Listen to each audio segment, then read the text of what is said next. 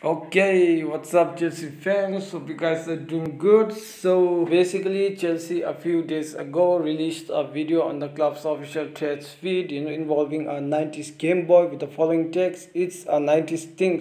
And this has had the fans excited, you know, fans are going crazy, you know, a lot of speculation about, you know, Nintendo, you know, the gaming company, Japanese gaming company being our new shirt sponsors because we don't have a new shirt sponsor as of now and today Chelsea released a new video this time on YouTube. A 90s phone something similar to last time. Mrs. Snake trying to get to Manchester United. My bad the rat.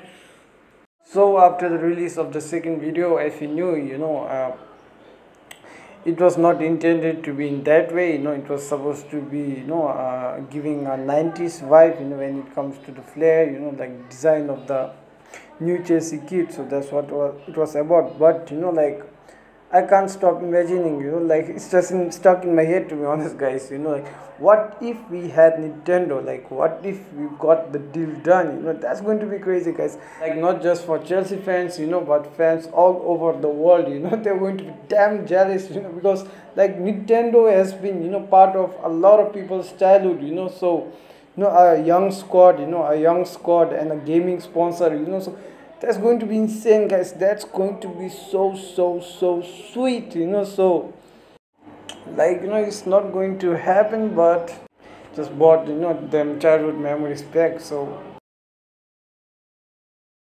So guys end of the video. Thank you for watching. If you like the channel if you like my videos please don't forget to subscribe. It will help a lot